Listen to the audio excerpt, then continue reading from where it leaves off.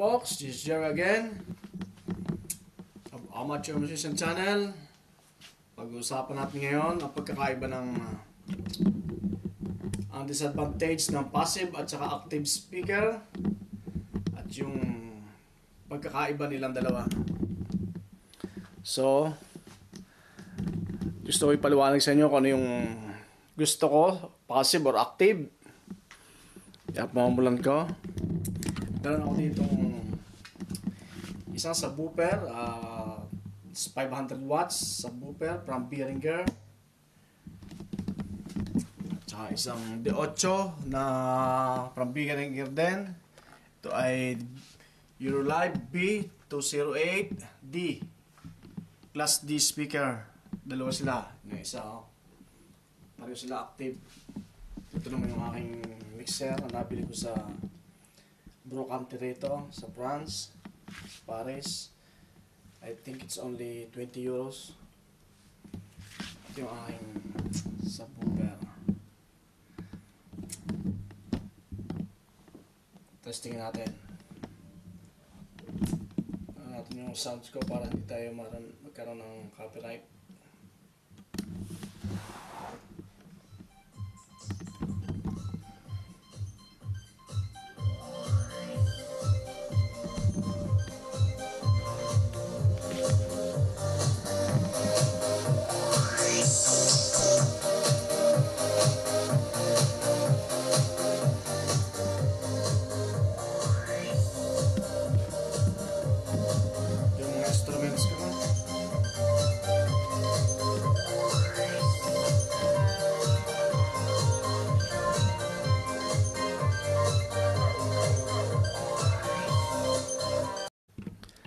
Okay, pag-usapan po natin yung pagkakaiba ng active at passive speaker at yung disadvantage, disadvantage at advantage niya.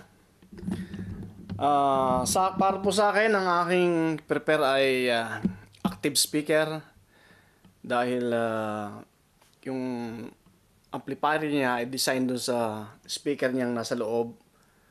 Kaya hindi kayo matatakot na masunog siya, masira kapag nag-overload kasi magkiklip siya, magkitrip ng kanya. Hindi tulad sa kapag nakapassive kayo at meron kayo amplifier, pag hindi nag pag hindi match yung inyong speaker jack sisira speaker nyo o kaya amplifier. Kaya mas prefer ko po yung mga ganitong hilig ako bumili ng mga ganito. Yan. Ito po ay mga active subwoofer bala ko po bumili ng isa pang ganito D12 po yan at saka po dalawang subwoofer pa na D15 at saka dalawa pa nito na D15 rin. Itong loudspeaker. Ayan. Uh, tama-tama po sa mga small uh, parties. Papadala ko po sa Pilipinas. Para pang sideline din po kapag uh, nag for good na ako. Balak na po mag for good kaya namimili na ako ng mga ganitong ganitong mga gamit para sa kaunting sideline ba? Pag napatambay sa Pilipinas. Ako po ay 10 taon na dito sa France. Na hindi nakaka-uwi sa Pilipinas kaya nag-isip-isip na mamili ng mga gamit. Yan po ay mga instrumento. Ulit ko po mas prefer ko po ang active speaker kasi po ah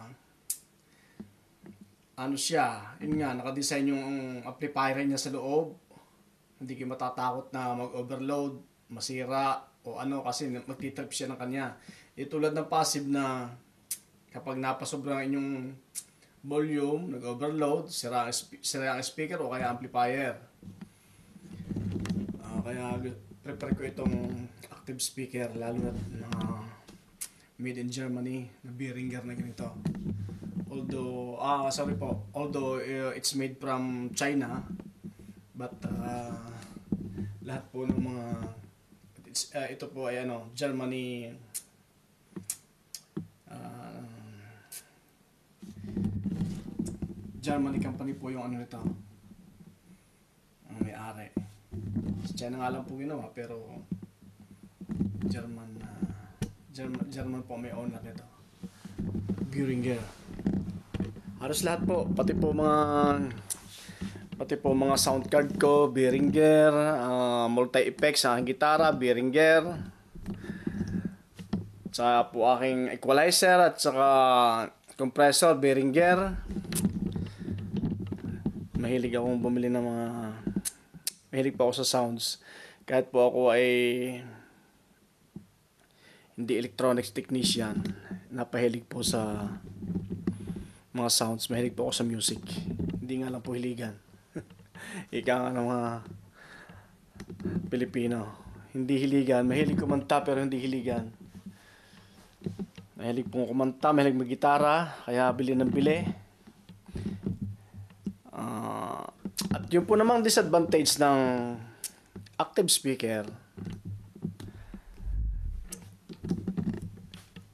Kailangan, kapag kapag i- isinet, isinet up nyo, kailangan malapit sa malapit sa outlet. Kasi lahat ng speaker, kailangan niya ng power, ng kuryente. Kaya kailangan mo mahabang cable para sa kuryente. Tapos kailangan mo rin kung malayo yung kinatayuan ng DJ, kailangan mahaba yung yung line ng yung line ng speaker na galing sa sa mixer. Hindi tulad ng passive, ang passive naman, ang advantage, hindi na kailangan ng power ng mga speaker kasi galing na doon sa amplifier. Hindi isang linya lang yung pupunta sa speaker. Hindi tulad ng mga active, dalawang linya, isang sa kuryente, isang galing sa mixer. Yun po ang disadvantage sa advantage. Pero ako po, gusto ko po ay active kasi yun nga, napakaganda ng tunog at saka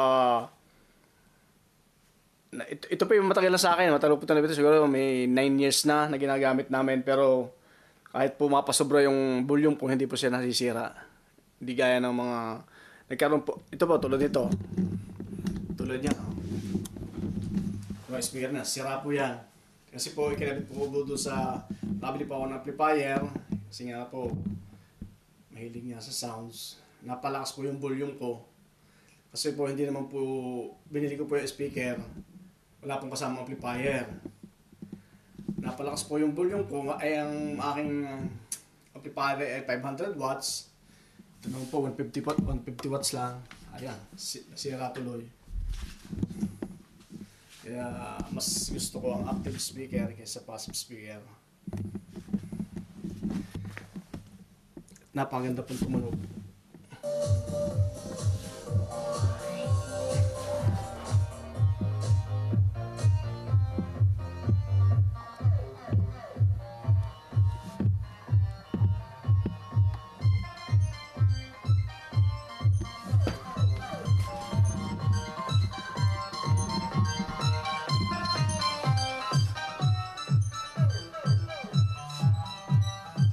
po, naka naka 9 o'clock lang yan.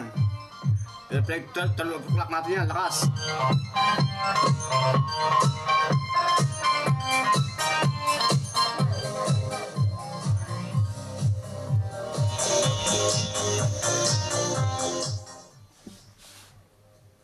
Ano pa kaya kung apat na ganyan?